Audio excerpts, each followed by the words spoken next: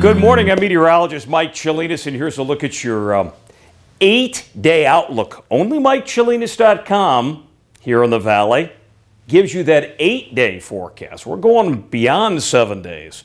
If the technology was there, I'd give you a 50-day forecast, but it's it's not very accurate past uh, past seven to eight days. That's for sure. So we're going to keep it at that limit. Okay, today going to be a nice day. Temps in the middle range of the 70s.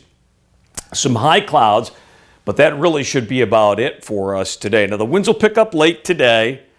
Tomorrow, I think we see plenty of sunshine, but some high clouds sneak in. Winds pick up abruptly Later in the day, especially out of the south and west, you could be looking at 15 to 30 mile an hour winds. Now, a cold front moves through early Sunday, and this is going to see uh, probably temperatures uh, drop for us because of that, all the way down into the 70 degree range for Sunday. Could see a sprinkle in the valley, maybe even a little snow up at Mount Charleston, a northerly wind, and it's going to be chilly. Now, temperatures will gradually rebound on Monday back up into the 70s, the mid 70s and we should have relatively uneventful weather. But yet another front comes crashing through Tuesday into Wednesday, providing a lot more wind for us, maybe a sprinkle in the valley, and a little more light snow up in the mountains. And then Thursday on into Friday, we start to warm back up. So it's a very trophy um, weather forecast that we uh, catch ourselves in the next eight days. Reminds me of the old Ohio players roller coaster.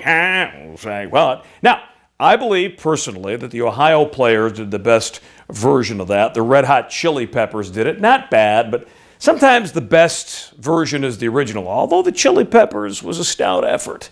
Roller coaster, ha! Say what? Have a great weekend.